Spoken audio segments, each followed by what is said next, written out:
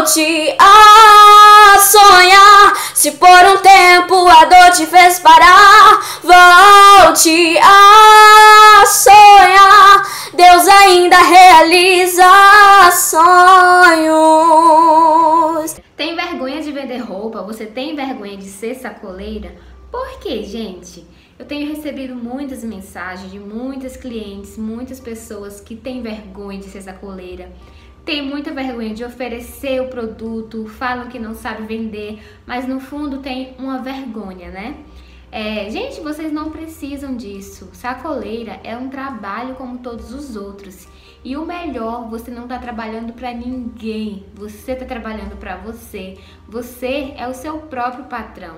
Esse é o trabalho que todo mundo quer. Esse nome sacoleira, muita gente acha pesado. Não, gente, mas não tenha vergonha. Para você crescer, você tem que começar por baixo.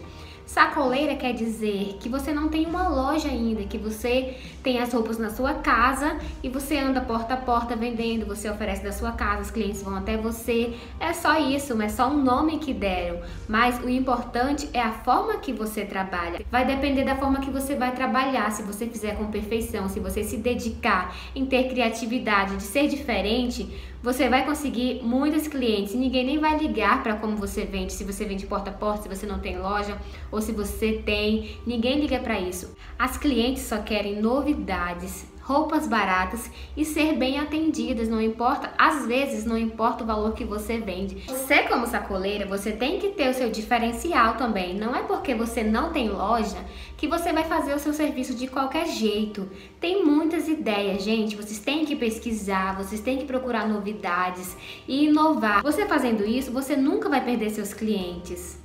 Então não importa se você tem loja ou se você não tem. O importante é você começar. Começar por baixo como sacoleira para depois você ir crescendo e abrir a sua loja. E sem ter vergonha do seu trabalho, você tem que se orgulhar de você mesmo, porque não é todo mundo que tem essa coragem, não é todo mundo que quer fazer isso, de trabalhar em casa, de ganhar o seu dinheiro próprio, sem trabalhar para os outros. Às vezes a gente passa a vida toda trabalhando para os outros, né? Ajudando outras pessoas a crescerem, a enricarem, a evoluírem mais. E a gente tá lá, né? Só trabalhando para aquelas pessoas. Então, você que quer isso, você tem que tomar uma decisão. Eu quero isso e eu vou conseguir. Eu vou começar com pouco, mas aos poucos eu vou crescendo e logo, logo eu vou conseguir ter minha loja. Eu falo mais sobre loja porque o meu público é voltado mais para isso, né? E eu tenho recebido muitas mensagens de adolescentes, de jovens que querem começar, mas tem medo de investir o seu dinheiro. Você não precisa ter medo. Se você quer isso,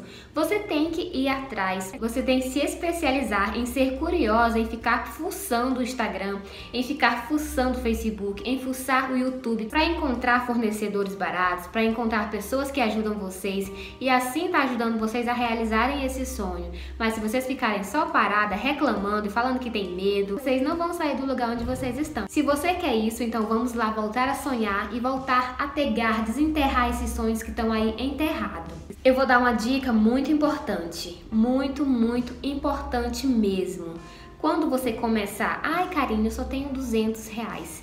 Então, sabe aquelas amigas que estão ao seu redor, aquela vizinha, aquela parente né, da sua família que não é enrolada, que gosta de comprar, você pode começar o seu primeiro pedido pensando nessas pessoas que gostam de comprar, as que estão ao seu redor.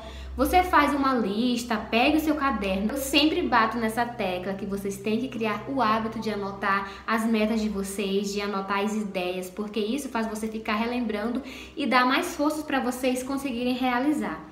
Então vocês anotam o nome das vizinhas, vê o que elas mais gostam, das suas amigas, amiga do trabalho, amiga da faculdade, amiga da escola. E aí vocês começam o primeiro pedido fazendo o pedido conforme as roupas que elas gostam, já na intuição de chegar lá e vender para ela aquela, aquela roupa que você sabe que ela vai gostar e se apaixonar e vai querer comprar. Para você não ter medo de perder o seu dinheiro, você que é muito medrosa, né, gente? Porque eu sempre falo, não precisa ter medo. Essa vida de sacoleira, essa vida de vendedora, não é uma vida muito fácil.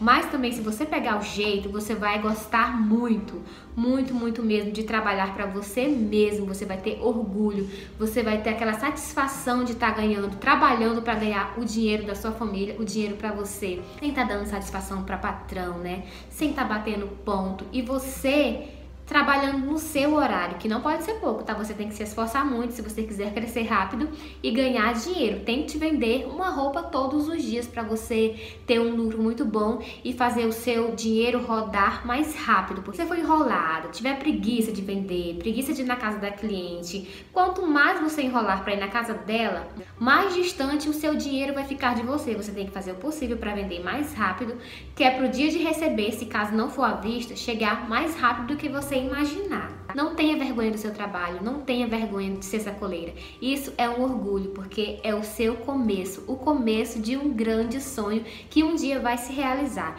E para se realizar só depende de você. Então eu quero decretar na sua vida que toda essa preguiça, que todo esse desânimo, né?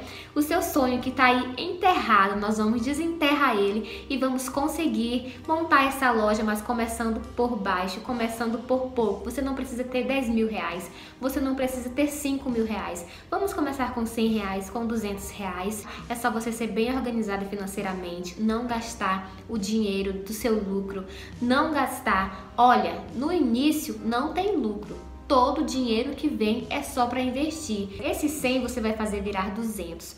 O 200 você vai fazer virar 400 o 400 já vai para 800 e assim você vai aumentando. Tente, pelo amor de Deus, não gastar o dinheiro da sua loja. Não misture dinheiro de roupa com contas de casa, com contas pessoais. Roupa é roupa. No início você não tem lucro nenhum. Vocês têm que lutar por vocês. Vamos tirar esse sonho do papel. Você é do tamanho dos seus sonhos. Sonhos grandes e sonhos pequenos dão o mesmo trabalho. Eu quero deixar esse louvor para vocês e apresentar a cantora Camille Vitória. Ela é uma criança que está na fase de pré-adolescência. Ela enviou esse vídeo com muito, muito, muito carinho para vocês. Eu quero ajudar você a voltar a sonhar. Receba esse louvor em nome de Jesus e seja abençoado. Eu tenho certeza que vocês vão gostar da cantora. Eu vou deixar o Instagram dela aqui embaixo, tá? Vou deixar o link do canal dela na descrição para vocês estarem seguindo e acompanhando o trabalho dela, porque ela é uma cantora mirim, está sonhando também em crescer e eu quero contar com a ajuda de vocês para ajudar a seguir ela lá no canal, para ajudar ela a crescer. Beijo, gente. Se inscreve no canal, deixa seu like. Tchau, tchau. Seja abençoado com esse louvor. Oi, pessoal, tudo bem com vocês? Eu sou a cantora Camille Vitória. Gente, hoje eu vim aqui trazer um recadinho para você que acompanha as histórias da Cá. Curte o vídeo aí. Volte sonhar. Se por um tempo a dor te fez parar, volte a sonhar. Deus ainda realiza sonhos. Se deu tudo errado pra você, se está no leito do hospital